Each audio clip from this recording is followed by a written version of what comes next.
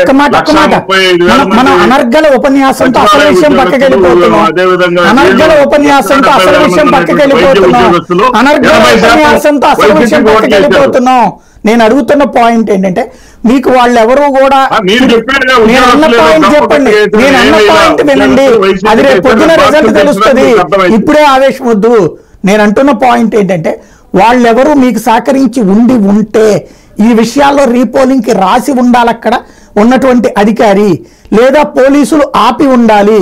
పోలీసులు ఆపలేదు ఈ గొడవలన్నీ చోట్ల కూడా. మొదటి రోజున మీ వాళ్ళ మీద కొన్ని చోట్ల దాడులు జరిగితే రెండో రోజు మీ వాళ్ళు రెచ్చిపోయి ధ్వంసాలు చేసిన సంఘటనలు ఉన్నాయి. వీటిట్లలో పోలీసులు ఫెయిల్యూర్ అంటే మొదటి రోజున మిమ్మల్ని దెబ్బ కొట్టడానికి అవతల వాళ్ళు సహకరించి రెండో రోజు మీకు భయపడి వాళ్ళకి సహకరించినట్ట. లేకపోతే పోలీసులు మీతో ఎందుకు వచ్చిన గొడవ అని చెప్పేసి దూరంగా ఉన్నారా? మీరు మీరు తనుగు చావండి సార్ ఇక్కడ చదువుకున్నటువంటి వ్యక్తి గొప్ప వ్యక్తి అనుకున్నటువంటి కృష్ణదేవరాయలు చూపించినటువంటి చిన్న బుద్ధి వల్ల జరిగినటువంటి పని ఇది. అతను అతనికి బంధువు అయినటువంటి అతని భార్య ద్వారా బంధువు అయినటువంటి పోలీస్ అధికారిని అక్కడ వేయించుకొని అతను సృష్టించినటువంటి అరాచకం ఇదంతా. ఫలితాన్ని అనుభవిస్తాడు కృష్ణదేవరాయలు. ప్రజాస్వామ్య వ్యవస్థ ఇది. అతను కనీసం లక్ష ఓట్ల తేడాతో ఓడిపోతా అతను ఉన్నాడు. అట్లాగే సక్సెస్ అయితే ఇంకా ఈ గొడవ ఎందుకు? అతను అప్పుడు ఎట్ట ఓడిపోతాడు? అతను తన బంధువుతో చేస్తే ఓట్ల తేడాతో ఓడిపోతాడు సార్. చూద్దాం. రెండు. వందల యాభై ఏడు రెండు వందల యాభై ఏడు ఉన్నాయి సార్ మొత్తం అక్కడ ఈవీఎంలు.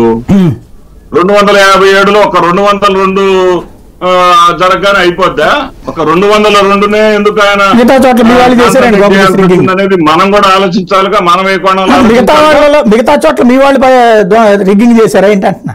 మీ అయ్యా బయట పెట్టమని అంటున్నాం కదా. ఎవరు వచ్చారు? ఏంటి?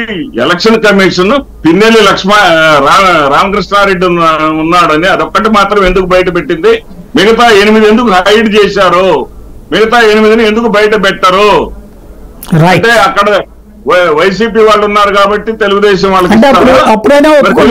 ఉన్నారు కాబట్టి అవి వాటిని బయట పెట్టరా? అప్పుడైనా ఒప్పుకుంటారు కదా టోటల్ వ్యవస్థలు మీ మీద తిరుగుబాటు చేస్తున్నాయని.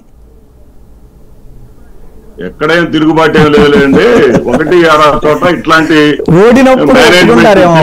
వ్యక్తుల వల్ల Right. ఈ మూడు జిల్లాల్లో మాత్రమే జరిగింది. మూడు జిల్లాల్లో కూడా ప్రజలు మా వెంటే ఉన్నారు. చిన్న చిన్న ఇలాంటి అపశృతులు మమ్మల్ని ఏమి చెయ్యలేవు. రైట్ నరసింహరావు గారు ఏమంటారు దీన్ని? మొత్తం చూస్తే ఎలా చూడాలి? ఇది అసలు రీపోలింగ్ ఎందుకు చెయ్యరు? చేయాల్సిన అవసరం ఉందంటారా లేదంటారా? సాయి గారు మీకు ప్యానెల్లో ఉన్నటువంటి పార్టీల పెద్దలకందరికీ కూడా శుభాభినందనలు. సాయి గారు మీ అందరికీ కూడా గుర్తుండే ఉంటుంది. మన ఇప్పుడు ఈ స్టూడియోలో మాట్లాడుతున్నటువంటి